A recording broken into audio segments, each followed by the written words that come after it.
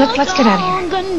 What are you talking about, Mother? I'm waiting for Ethan. I believe something went wrong.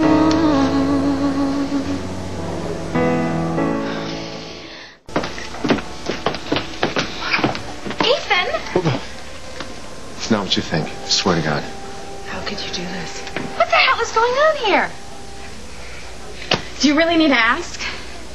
I mean, Ethan can't stay away from me no matter how hard he tries because he loves me. Theresa, stop.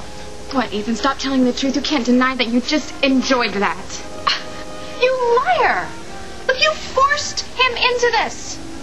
Look, Ethan is over you, and you can't stand it.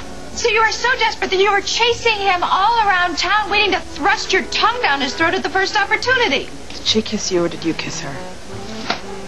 Gwen, don't even ask. She is a whore and a tramp. And she was lying in wait for him so she could accost him like some spider in a web. Rebecca, Now, come on. I, I hate spiders. I think they should all be stepped on and ground. You know what? That's actually a good idea. We all should stop here. Especially considering the fact that you're out on bail for trying to murder me. You know, Glenn, more threats against me are to make things look worse for you in court, if that's possible. What are you facing, like 30 to 40 years in prison? Shut up. I mean, for once in your life, you shut up and you listen. Now, unlike you, I took Ethan's plea to let our bygones be bygones to heart because this unending feud has gone on long enough. And there is no reason why we can't bury the hatchet and move on with our respective lives starting right now. But it's up to you.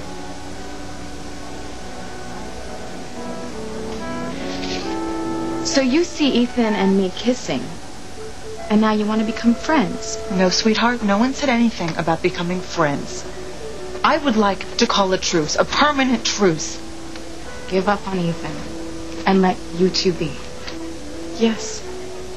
That and dropping the charges against me, that is all you have to do to just stop this madness right now.